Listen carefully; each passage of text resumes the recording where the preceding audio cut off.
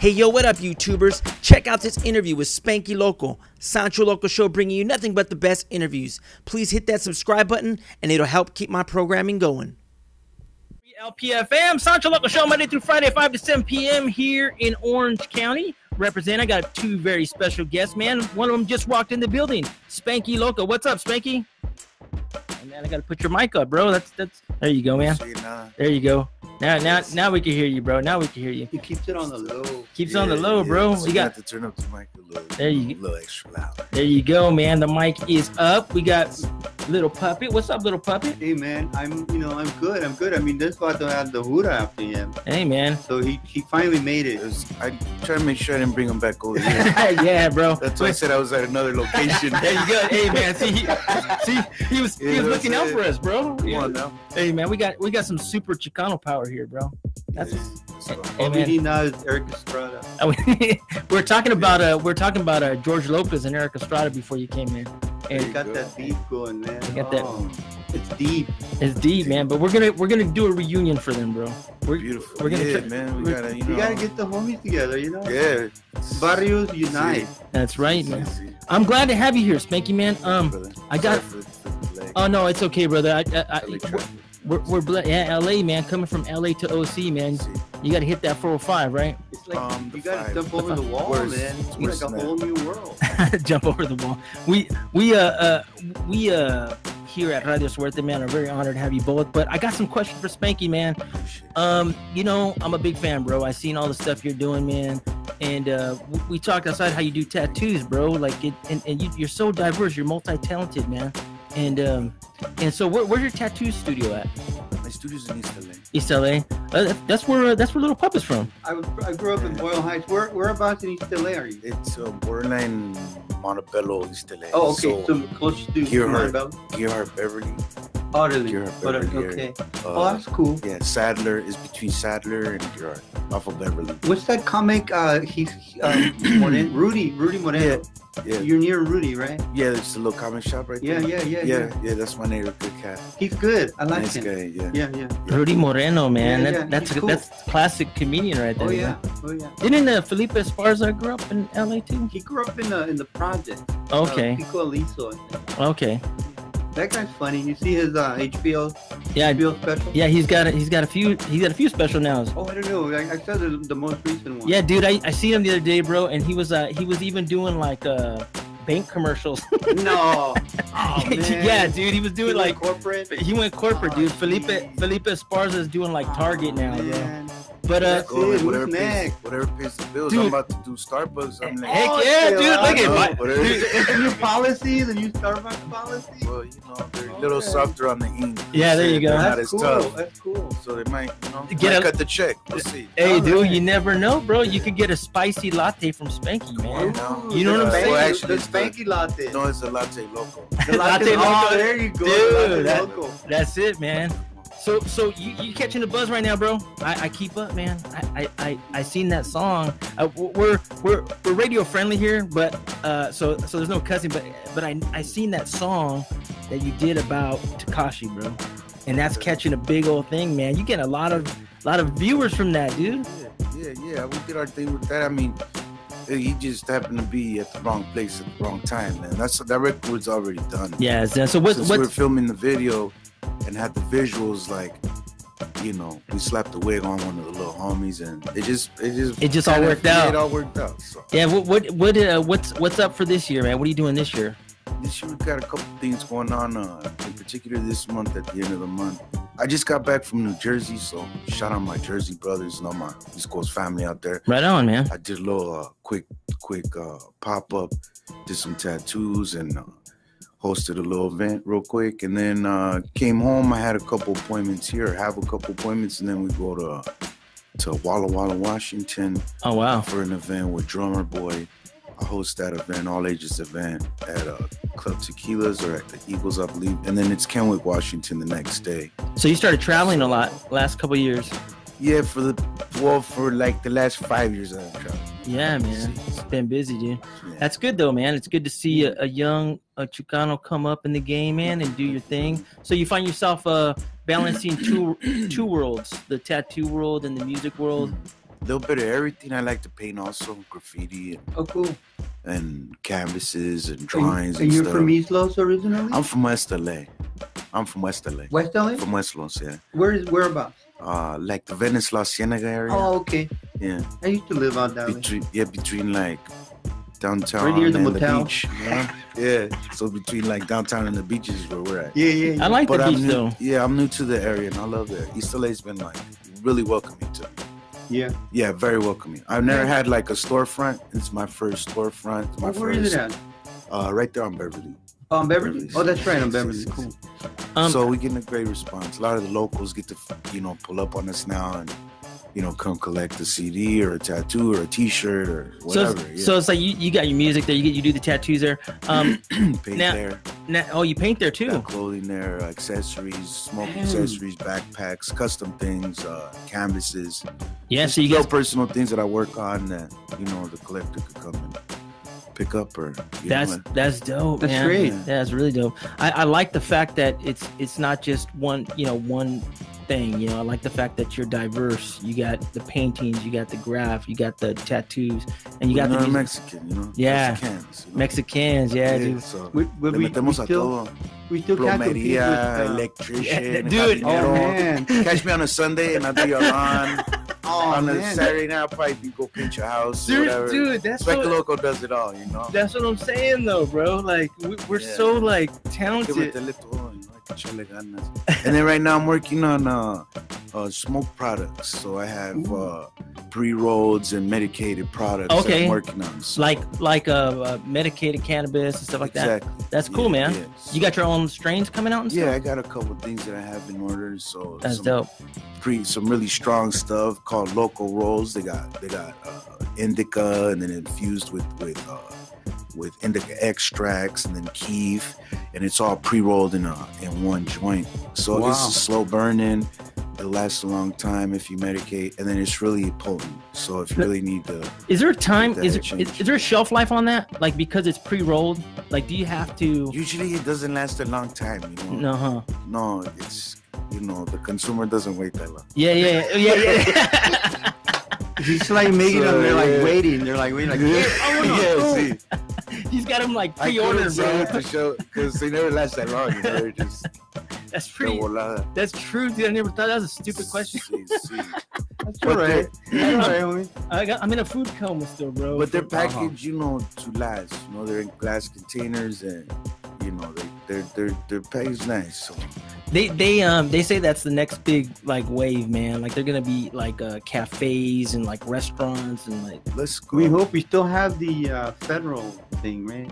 yeah. It's still not. not They go uh, both. People say they go many ways. You know, very regulated or very loose. You get so many opinions. So Yeah.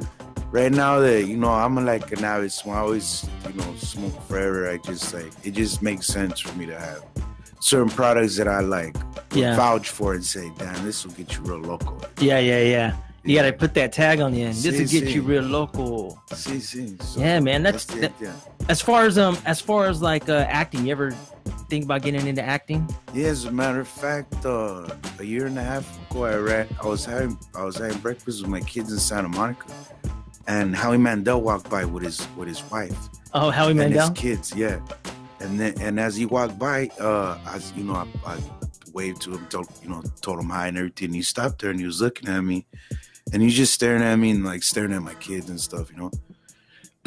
and then uh and and then I was as he's just like tripping out on me, you know, I see the rest of his family we kind of greet and they just take off. But like 30 seconds later, this this lady runs back in, you know, his wife, and gives me a business card and says, "Hey, you, you know, you're done in acting?" And I and then like, well, you know, here and there, co- cameos, nothing, you know. I Yeah. don't have no time for it, really, you know. Right. And I, but if it's for real, I you know I would consider, you know, Yeah, me and it, you know. me and Danny were talking uh, before you came about uh, Homeboy Industries, how they how they have like you know helped a lot of young brothers out and helped them get their career started. And uh, we were talking about what's his name, Adrian Abroad, Richard. Richard Cabral. See, yeah. see, see, that's a good homie. Yeah. We were on set not a couple months back.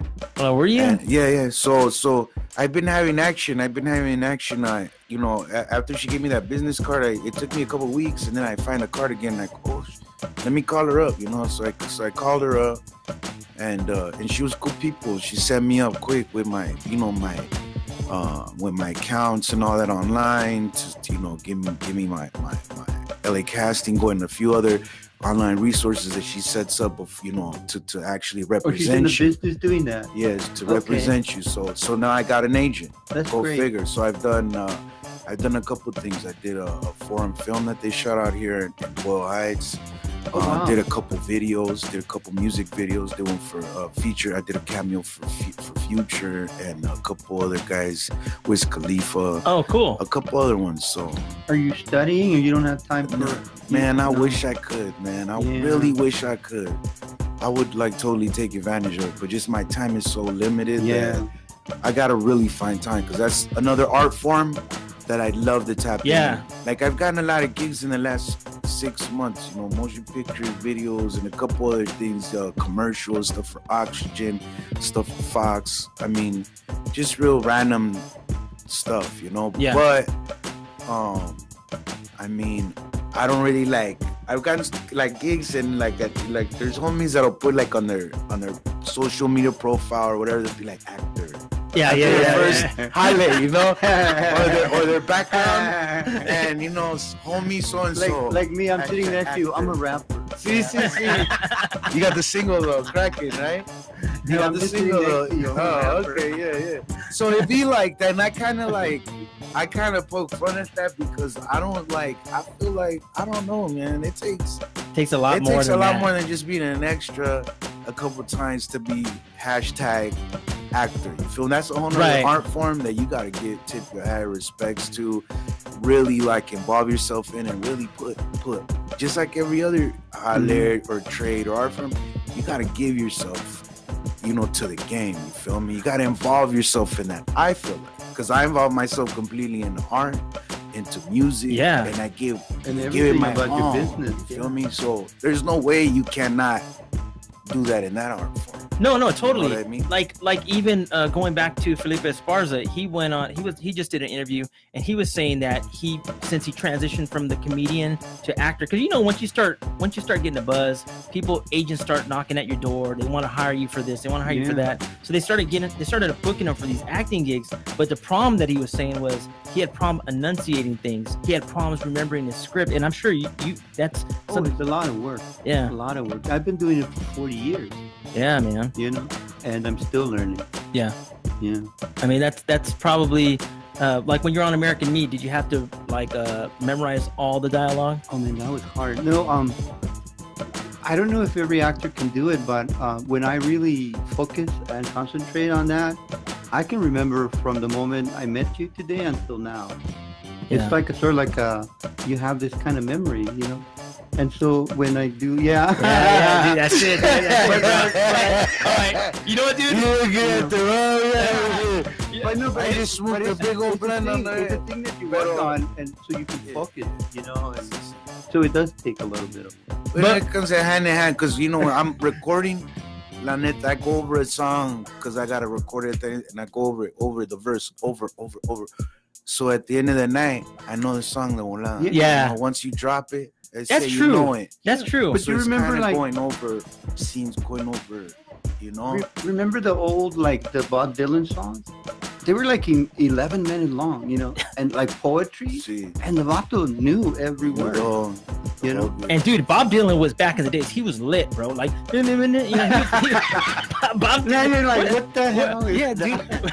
Dude, he, dude, Bob Dylan could sing about anything, bro. He'd be like, "This soda right here in the market right Yeah, there," yeah. and you'd be like, "Yeah, dude, that's a that's a good song." You'd song." be bro." crying and like, You'd be crying, bro. Like I had a soda too. you'd be like, man, we gotta go march. Bob Dylan, man. But hey, um, nah, man. So so you, you you're doing a lot, bro. But um, uh, as far as music goes, where you headed in that that aspect? So I'm trying to stay just as busy as I do with the other stuff. So Really? sometimes I focus a little more on one thing than the other, but that's Gotcha. because I'm trying to kind of perfect that craft. So the last few years I've been working on tattoos heavily, and I feel like now I need to balance them and get back hard on my music stuff. So that's what I've been doing. And you know what sucks, bro, is that nobody could probably do a tattoo like you do. It's like I do screen printing, right? And I got my boys helping me out. And like when I get a job, dude, I'll be I'll be printing, and I'll, I, I want to leave it to them, but I know it's not gonna get done right. So I'm just like, let me do it. And when I'm done, and that's how I find myself with no time. You know what I mean? exactly. That's that, and, and that, sometimes you getting hands on and getting in there is the only way sometimes. yeah, man. You got any new new albums coming out? Or Loco OG, the album, it just dropped May 10th, and I got Paul Wall on there. I got Slim 400. Um, I got a few good homies on there, so I'm pretty excited about that. Paul Wall, man, he hasn't made a song in a minute, right? He just dropped uh, a couple of little projects. Did he? Yeah, yeah. Oh, yeah, cool. as far as radio stuff, No. I couldn't say, but he goes hard with a lot of underground stuff still. What What do you think? What do you think? I, I mean, uh, like um, we're a low power brand new station. We're here in Orange County. We popped up last year, right? But what do you think as far as commercial radio goes, with helping like Latinos out, young brothers out, like getting their music heard? What do you think the, the problem is? I couldn't say, bro. I don't. I still haven't deciphered the game like that. You know, Really? I don't know who pushes the buttons and really controls the game. Because then see, you got kids with, you know, wearing mini skirts and brassieres and and, Yeah. and, and girdles and and purple hair. And Weird. I don't really know where they came and said it. You know what I mean? Yeah. But I don't knock certain certain.